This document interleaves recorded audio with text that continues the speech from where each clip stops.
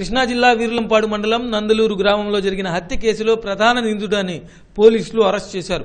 పథకం ప్రకారమే హత్య జరిగినట్లు నందిగామ డీఎస్పీ రాజేష్ మురళి వివరించారు. నందిగామలో ఏర్పాటు చేసిన విలేకరుల సమావేశంలో డీఎస్పీ రాజేష్ మురళి మాట్లాడారు. కత్తి వెంకటరత్నం అని చెప్పి నందలూరు విలేజ్ వీర్లపాడు మండలము. ఇతను రెండు వేల పదహారు జనవరిలో కత్తి వెంకటేశ్వర్లు అనే అతన్ని చిన్న పెట్టి వివాదం కారణంగా కత్తితో నిర్దాక్షిణ్యంగా నరికి చంపేశాడు. అప్పటి నుండి అబ్స్కాండింగ్లో ఉన్నాడు. ఇతని ముందు క్రిమినల్ రికార్డు కూడా ఉంది. ఇతని మీద కేడీ షీటు మా దగ్గర మెయింటైన్ అవుతుంది జిల్లాలో. పంతొమ్మిది వందల ఎనభై ఎనిమిది నుండి ఇతను అబ్స్కాండింగ్లో ఉన్నాడు.